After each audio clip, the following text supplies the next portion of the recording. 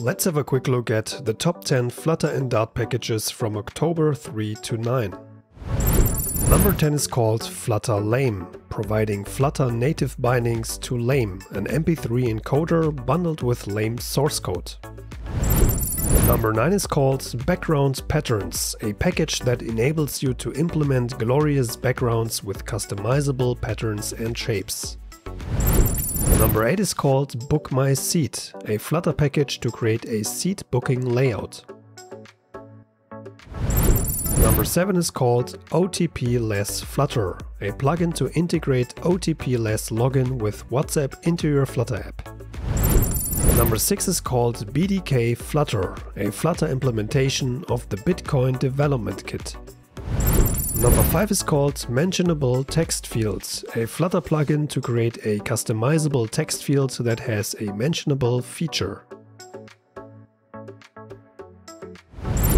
Number 4 is called Circular Seek Bar, a circular progress bar package that supports customizable animations, dashes and gradients.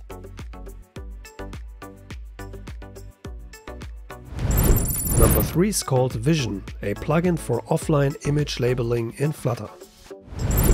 Number 2 is called Meta SEO, a package for adding metadata to HTML documents in the head tag to improve search engine optimization for web apps. Last but not least, the number one of release week 40, the package Bottom Bar Matu, a beautiful animated and customizable bottom navigation bar. If you enjoyed this video and want to support me and my channel, please like, share and subscribe. To receive this compact overview weekly as an email newsletter, subscribe at follow.syntacops.com.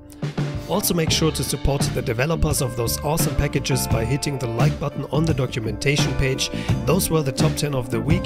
Thank you very much for your attention. Have a great week and see you soon.